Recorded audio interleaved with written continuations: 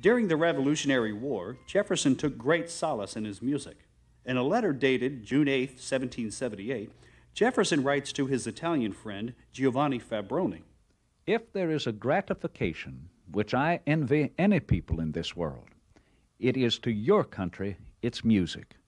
This is the favorite passion of my soul. Thomas Jefferson was a musician himself, a violin player. Jefferson claimed that in his youth he would practice up to three hours a day. This is an extraordinary achievement for someone who was also involved in politics, architecture, science, and family life.